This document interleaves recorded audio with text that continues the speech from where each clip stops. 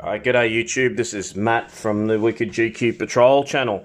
Uh, I've got a couple of hard drives here that I pulled out, oh, quite a while ago now. I'd say these hard drives are pulled out of a computer about two years ago. Um, they are two Western Digital 1 terabyte WD10 EARS, what years, if you want to call it, uh, SATA hard drives, or SATA, if you want to, depending on how you pronounce it. Um, these two were in my system, in my server, run as RAID, and they actually used to run um, Windows operating system on the RAIDed drives um, before solid states were really getting down in price. So, um, yeah, the server ran that for many years actually um, until one day I went in there to change something and I did a nasty.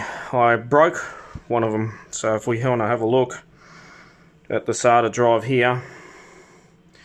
I'm not sure if that's going to be a good one, but there is the SATA connection there. That's the power connection, and that's actually snapped off, so you can't plug the uh, SATA cable back in there.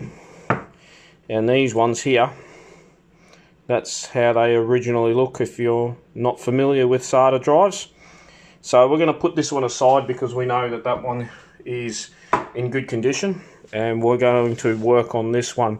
So the best thing you can do with these drives once they do go, or if you do have one go, is not to just go and throw it away or send it off for an expensive repair because getting a hard drive repair joint is not cheap. So instead, you have to go have a look at the, pay attention to the brand, the model number, and then you turn it underneath and I'm not sure we'll be able to pick that up. And oh boy. Okay.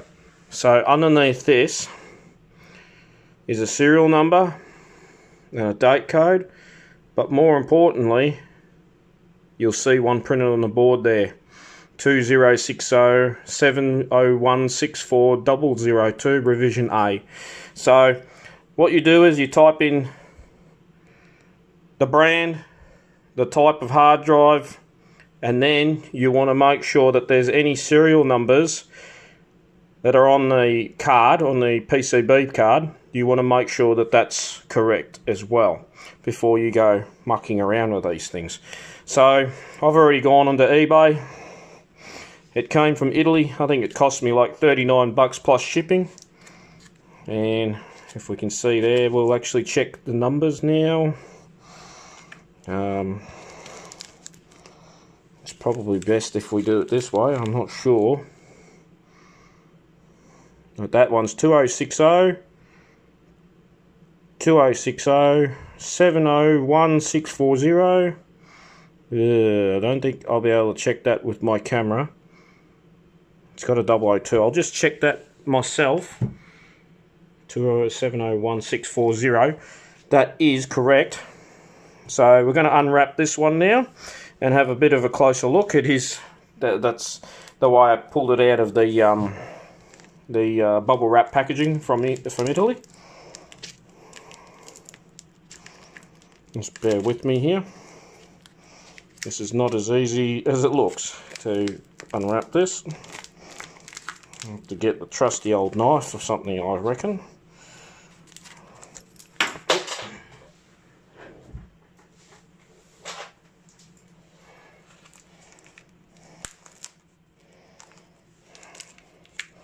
Run this uh, screwdriver around the edges. It's always a good idea, really, you should be wearing an anti-static um, strap and uh, earthing yourself or grounding yourself onto a nearby earthed object, but I'm Mr. Lazy here, I can't be bothered, and really it's never really, you know, people say that it's really important, but I've never fried anything from a little static, especially in modern equipment. So, alright. I believe that's, yeah, so that's the hard drive it came from, I believe. So, and this one may have had a faulty platter or something like that.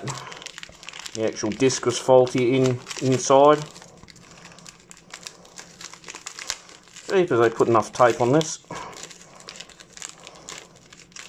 Try not to be too abusive here, you know. Here we go. It's got a bit of foam on the bottom, which doesn't really matter to us. But we've almost got it out, and there we have it. I'm just going to throw that off to the side there. So, it looks to me like it's in good condition. I don't see any scratches on the board or anything like that. So I think we're safe enough there's some chips underneath here. We're safe enough to pull the uh, other board off the other drive and replace it. So let's put that there. And uh, so these screws that are on here, one, two, three, four, they are actually uh, T8 Torx screws. I don't have a T8 screwdriver. I looked everywhere for a T8. In fact, hang on. Is that? Nah, it's too big. Uh, a T8 screwdriver. I looked everywhere. I only had a T7 or a T10. So I got a bit naughty with this drive. You do not want to be. This is a bit of a worn, flat-bladed screwdriver here. You don't want to be putting. You don't want to be smacking it into the screw. You gently have to work it in like that. And eventually you'll be able to work it in like so until takes a bit of force and they should start to loosen up like that. So that's one screw.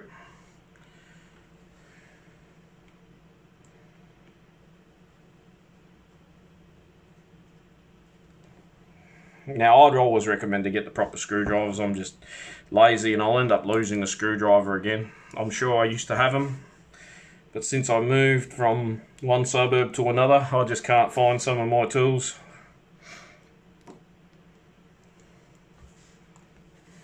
Hit that one. This hard drive's been off for a long, long time, so I don't think it would be very susceptible to getting static, you know, or discharges. I haven't powered this drive up for more than two years. Right, so right now that should be, there we go, the sticky pad is starting to come off. And these hard drives are so easy that it just lifts off. You don't actually need to unplug any wiring or fancy doovalakis. It just lifts off like so. And then we grab this one. I'm just going to double check as well that the pads on here look in a reasonable condition. I can clean them with a little bit of, in fact I might just do that. Um, just these pad, this pad here, I don't know if you can see it, there's a bit of crap on it. So if you look at the middle of this pad here with the pins, or where the pins will join onto the board. One of them's got a little bit of on there, so I might clean that slag off with some cleaner. And I don't like spraying the cleaner onto the actual boards. I'm a, I'm a bit against that. I'd rather spray it onto a rag and use the clean part of the rag to just gently wipe over the board which achieves very much the same thing. So we're just going to put that there, get that there, and just wipe the pins there. I'm just hoping that that doesn't cause any issues because it is pretty dirty that. That's some electro clean on the um,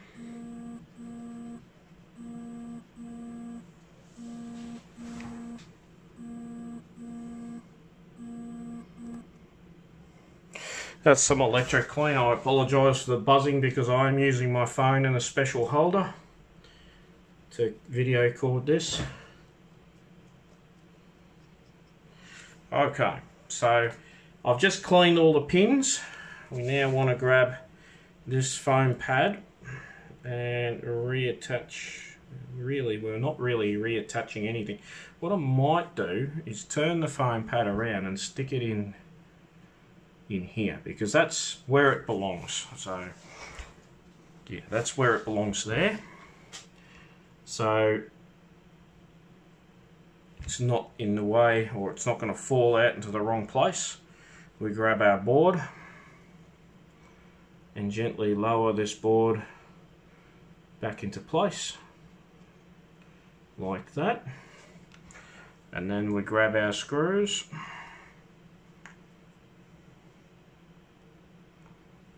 and um, put our screws in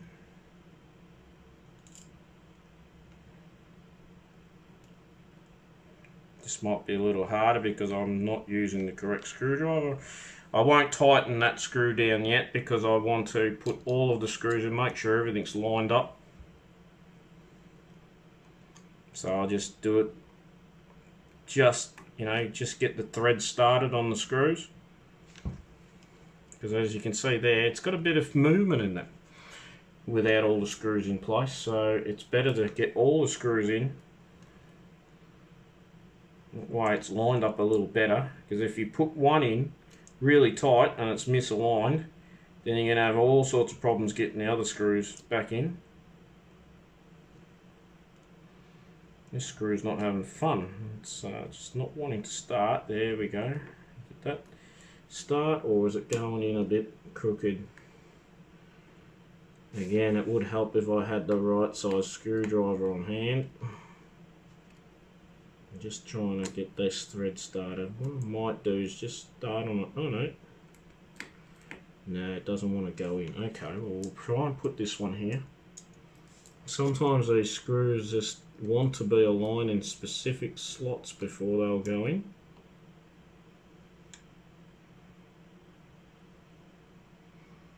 There we go, that's another one. And we have one more screw over here.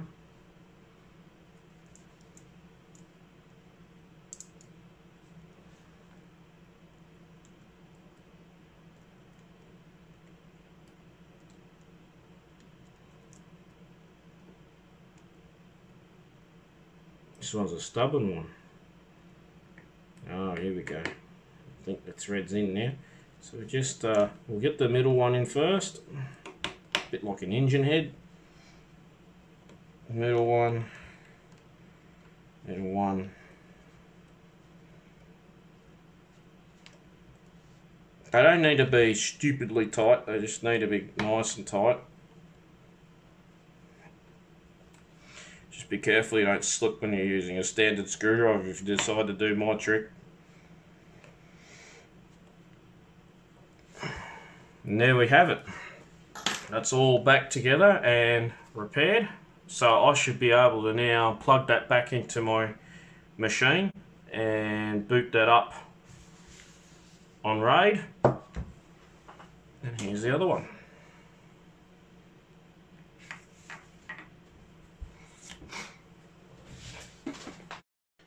Okay, so I now have the hard drive plugged into my USB dock. I haven't turned it on yet, and I've uh, gotten into Windows here to uh, see if the hard drive is going to recognize. Uh, I'm not fussed of what is on the hard drive because I did have a full backup of the hard drive years ago and I already took everything off. So I just want to see whether or not this hard drive will actually format uh, as a standard one terabyte drive before I go you know removing covers off a machine or doing a build with it. Um, so let's do that now. Um, so we're plugged in, we'll just switch it over at the back and we should have Windows activate. We've got lights coming on up on the front here.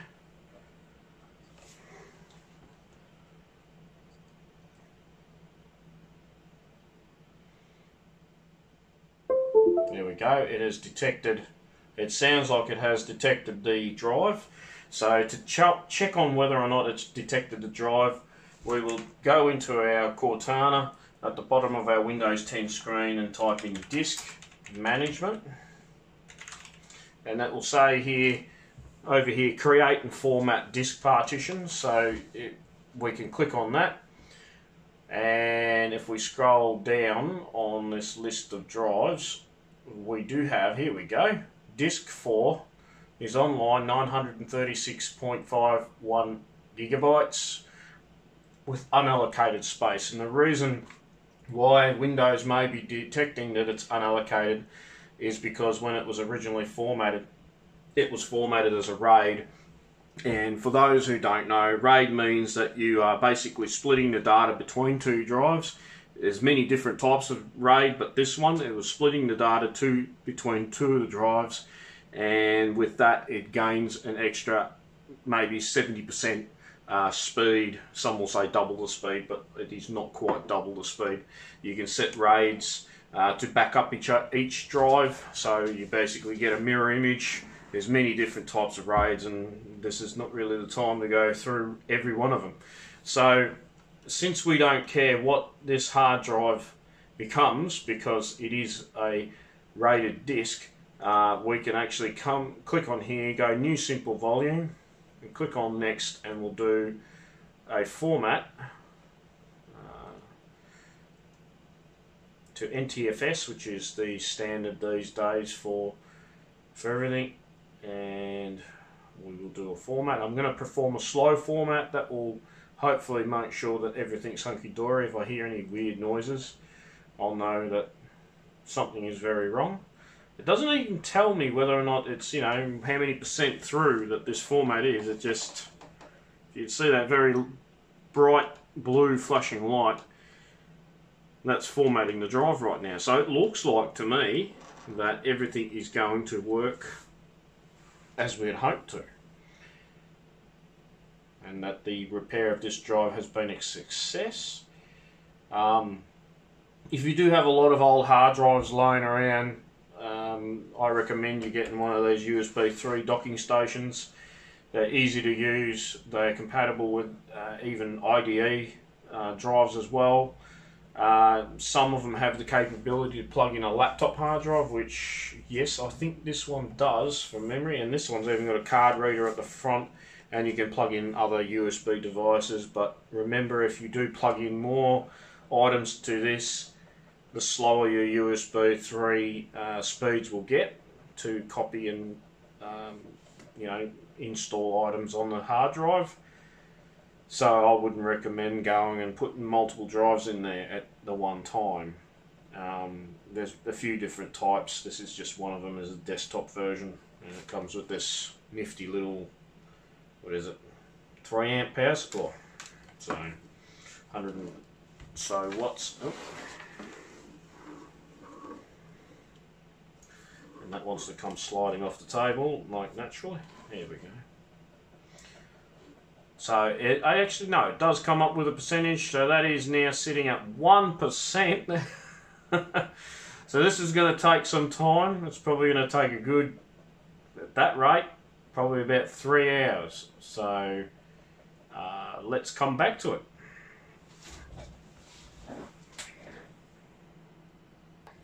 So finally, after three and a half bloody hours, this thing has decided the format and it's come up as volume, new volume, drive H.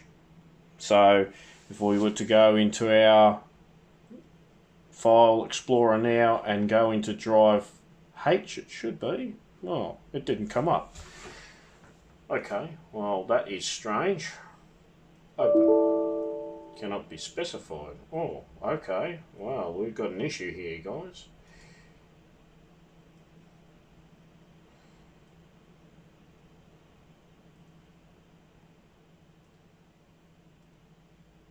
I'm going to sign it a new letter. See what happens. Sometimes this does happen.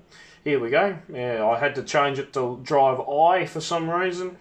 And suddenly the thing wants to work. So I don't know what glitch that was.